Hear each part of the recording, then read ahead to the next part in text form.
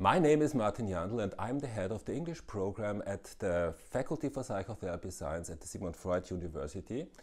And uh, I'd like to, uh, to convey some concise information on the program.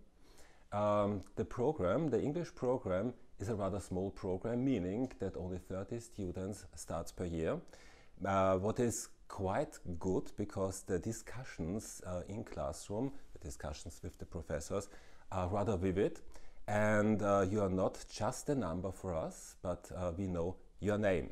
Uh, furthermore, albeit the, the groups are rather small, it's quite vibrating international because we welcome students from 60 different uh, countries here in our English program.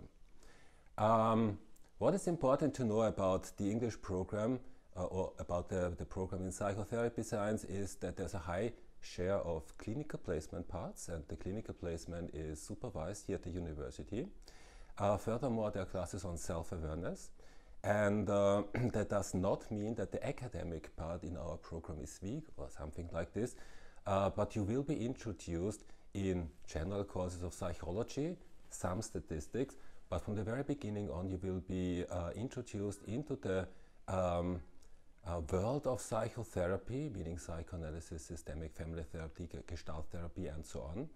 And uh, you will hear about treatment techniques from the very beginning on.